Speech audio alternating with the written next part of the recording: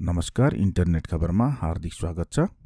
ठूलो सङ्ख्यामा नेपाली कामदारलाई रोजगारीको अवसर प्रदान गर्न इजरायल सरकार सकारात्मक देखिएको छ। नेपाली कामदार मेहनती इमान्दार र अनुशासित भएका कारण नेपाली कामदारको सङ्ख्या बढाउन इजरायल सरकार सकारात्मक भएको हो। श्रम रोजगार तथा सामाजिक सुरक्षा मन्त्री गोकर्ण विष्टसँग नेपालका लागि इजरायलका राजदूत बेन्नी अमेरले आज गर्नुभएको भेटमा नेपाली कामदारलाई थप रोजगारीको अवसर प्रदान गर्न इजरायल सरकार तयार रहेको बताउनुभयो। सो अवसरमा मन्त्री विष्टले कृषि पर्यटन तथा रोजगारीको क्षेत्रमा सहयोग आदान प्रदान गर्ने पर्याप्त सम्भावना रहेको र नेपाली कामदार विशेष गरी केयर गिभरको सङ्ख्या थप गर्न सकेमा दुवै देश लाभान्वित हुने बताउनुभयो।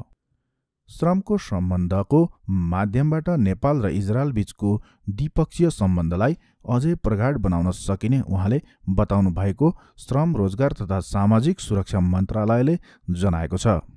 भेटमा राजदूत अमेरले इजरायलबाट फर्किआएका युवाले इजरायली कृषि प्रविधिको प्रयोग गरी विभिन्न व्यवसाय सञ्चालन गरेका जानकारी पाउँदा आफू खुसी भएको बताउनुभयो।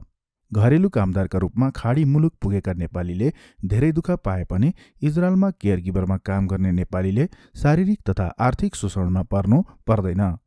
इजरायलले मुख्य गरी केयर गिभरमा नेपाल फिलिपिन्स र भारतबाट महिला कामदार लैजाने गरेको छ।